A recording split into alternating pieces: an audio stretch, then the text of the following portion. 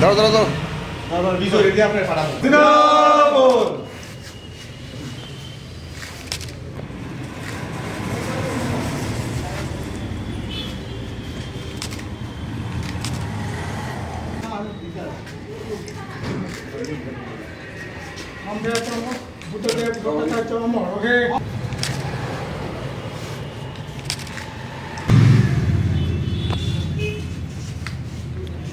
পার্টির পলিট ব্যুরোর প্রাক্তন সদস্য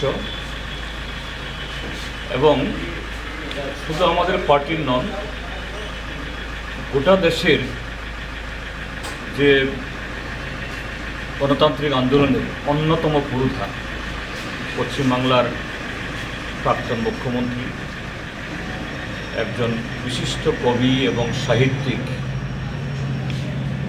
তিনি বুদ্ধদেব ভট্টাচার্য কলকাতায় নিজ বাসভবনে সকাল আটটা কুড়িতে প্রয়াত হয়েছে। আমরা আমাদের পার্টি রাজ্য কমিটির তরফ থেকে তার প্রতি শ্রদ্ধা জ্ঞাপন করছি। তার জীবনাবসানে শুধু একজন কমিউনিস্ট নেতা প্রয়াত হলেন না, আমাদের ভারতবর্ষে, ভারতবর্ষের রাজনীতিতে স্বচ্ছতা, সততা এটা যখন পুরোপুরি হারিয়ে যাচ্ছে, দেশ ক্রমশ যে রাজনৈতিক কায়েমি স্বার্থ এটা গ্রাস করছে, সেই সময়েতে কমরেড বুদ্ধ বুদ্ধভট্টাচার্যের প্রয়াণ যদিও শারীরিকভাবে তিনি দীর্ঘদিন পার্টির কোনো কর্মসূচিতে অংশগ্রহণ করতে পারছিলেন না।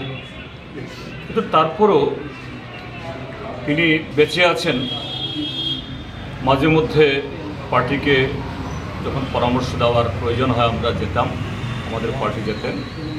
তো সেদিক থেকে আমাদের একটা বিরাট মনোবল থাকতো বুদ্ধদেব বুদ্ধদাও আমাদের সাথে আছে। তো সেদিক থেকে একটা বিরাট শূন্যতা সৃষ্টি হলো। তো আমরা ভারতের কমিউনিস্ট পার্টির বাগবাদী, তাকে আমরা শ্রদ্ধার সাথে স্মরণ করব।